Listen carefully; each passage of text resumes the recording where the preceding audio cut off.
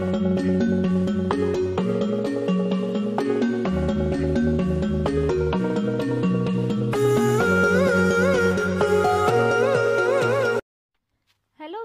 السلام علیکم آج کی ہماری اس ویڈیو کو دیکھنے سے پہلے ہمارے چینل کو سبسکرائب ضرور کریں اور گھنٹی کے بٹن کو دبانا ہر کس نہ بھولیں آج ہم آپ کو بتائیں گے ڈرامہ سیریل تم سے ہی تعلق ہے کہ لاسٹ ایپیسوڈ میں کیا ہونے والا ہے ویورز، آپ لاسٹ ایپیسوڈ میں دیکھیں گے کہ صدام جو ہے وہ جیل کے اندر بند ہوتا ہے اور اپنے کیے پر بہت پچھتا رہا ہوتا ہے۔ جب اس کو رما کی بے وفائی کا پتہ چلتا ہے، وہ پچھتاوے کی آگ میں جل رہا ہوتا ہے اور ساتھ بھی ساتھ میں سوچ رہا ہوتا ہے کہ میں نے علینا کے ساتھ کتنا برا کیا۔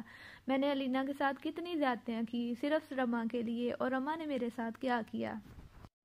وہ خود کو کوستا رہتا ہے اور کہتا ہے کہ میں کتنا برا انسان ہوں۔ علینا کتنی پیار کرنے والی اور محبت کرنے والی بیوی تھی جسے میں نے کھو دیا۔ دوسرے ہی لمحے رما جو ہے وہ اپنے کزن کے ساتھ پراپرٹی کے سارے کاغذات لے کر سب کچھ پیسہ وغیرہ لے کر جو ہے وہ ملک سے فرار ہو جاتی ہے اور صدام خالی ہاتھ ملتا رہ جاتا ہے۔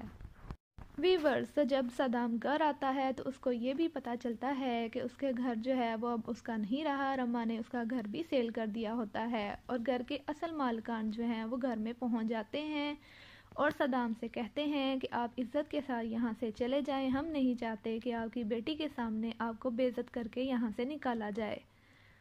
جب صدام یہ سارا معاملہ دیکھتا ہے اور وہ بہت زیادہ افسردہ ہو جاتا ہے اور صدام جو ہے وہ خودکشی کر لیتا ہے، تو ویورز، آپ کا کیا خیال ہے کہ صدام کو خودکشی کرنی چاہیے تھی یا نہیں؟ میرے خیال سے تو صدام نے جو کیا صحیح کیا، کیونکہ برے کام کا ہمیشہ برا ہی نتیجہ ہوتا ہے۔